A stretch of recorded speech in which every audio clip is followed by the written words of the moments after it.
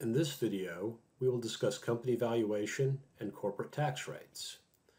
In general, the value of a company is next year's free cash flow over the weighted average cost of capital minus the growth rate, where the total value of the company is its debt plus its equity. For simplicity in our example, we'll consider the value of a company with no growth or no money reinvested in the company, instead all paid out to the stockholders, i.e. no retained earnings. Under those conditions, this equation reduces to the value of the company is the earnings before interest and taxes times 1 minus the corporate tax rate over WACC, the weighted average cost of capital. We will calculate both WACC and valuation for a large variety of corporate tax rates. Again, WACC is the fraction of the company financed with debt times the cost of debt times 1 minus the corporate tax rate, plus the fraction of the company financed with equity times the cost of equity. Under these conditions, we will assume the interest rate that the company pays on its debt is a constant of 10%, and we will calculate a variety of leverage betas and cost of equity since that is dependent on the corporate tax rate.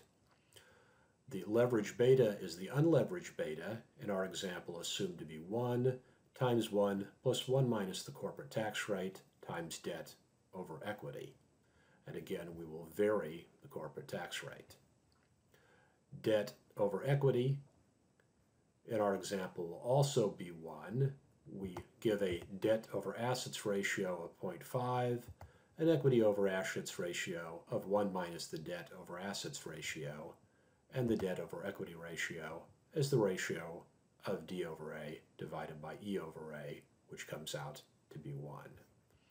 We then proceed to calculate a variety of leverage betas varying the corporate tax rate and find the leverage beta will go down as the corporate tax rate goes up since there's a minus in front of this equation.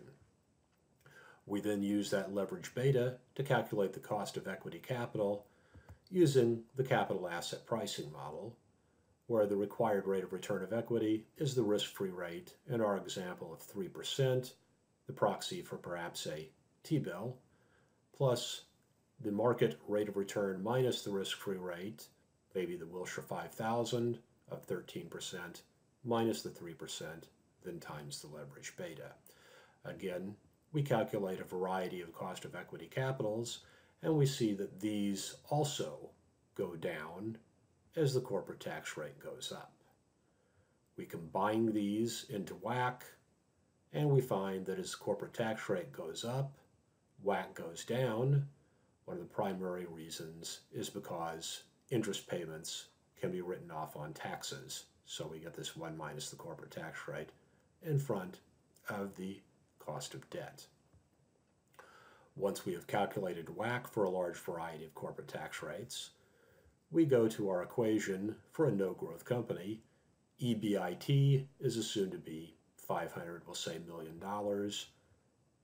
We take that times 1 minus the corporate tax rate over WACC, and we get valuations for the company as a function of the corporate tax rate.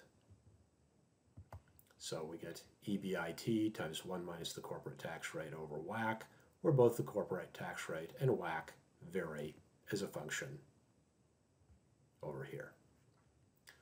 We find that while WACC goes down as the corporate tax rate increases,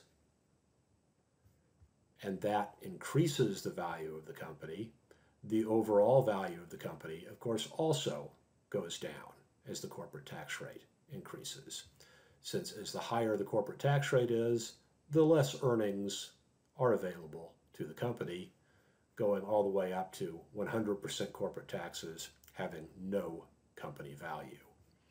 As an example, we consider a corporate tax cut from 40% with a corporate valuation of $2,400,000 down to perhaps a corporate tax rate of 20% increasing the value of the company to $2,759,000.